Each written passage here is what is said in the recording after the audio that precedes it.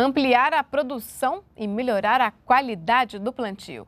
Quase 22 milhões de reais vão ser repassados neste mês para agricultores familiares investirem em projetos produtivos. De janeiro de 2012 a dezembro de 2014, 147 mil famílias foram beneficiadas.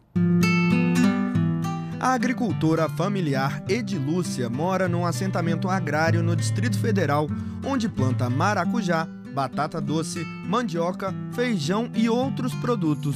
Ela conseguiu diversificar as culturas por meio do programa de fomento do Ministério do Desenvolvimento Social e Combate à Fome. Meu objetivo era fazer meu plantio, né? Para mim tá tendo uma saída aqui dentro, porque eu só, só tirava o Bolsa Família.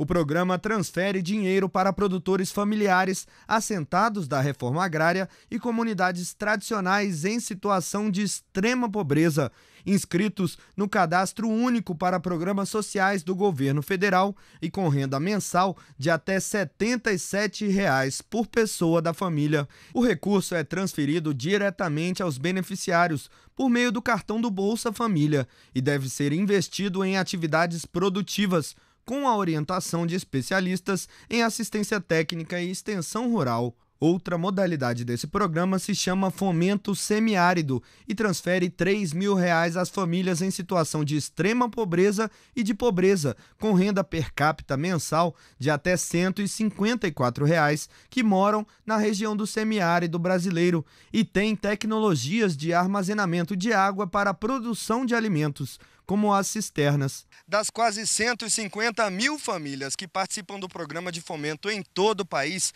cerca de 89 mil já receberam todo o dinheiro que é pago em parcelas. A família da Edilúcia, por exemplo, recebeu em três vezes um total de R$ 2.400, que foram usados para aumentar e melhorar a produção aqui na propriedade. Um dinheiro para gerar dinheiro. A gente mostra alternativas de rentabilidade alta, né? Para eles poderem estar tá investindo dentro da própria chácara para futuramente estar trazendo mais dinheiro para a chácara e aí eles podem fazer o que quiser, ou aumentar a área de plantio, ou então começar a investir na chácara com uma casa melhor, né, eletrodoméstico em geral, é mais ou menos isso daí. Este mês, cerca de 22 mil famílias começaram a receber a primeira parcela do dinheiro em repasses que somam mais de 21 milhões de reais. São recursos não reembolsáveis que são é, definidos em duas parcelas, executado em duas parcelas para as famílias beneficiárias, é, sendo a sua liberação é, a partir do projeto técnico estruturado e acompanhado e autorizado pelo MDA e pela empresa de assistência técnica que faz assistência técnica diretamente ao produtor ou ao beneficiário.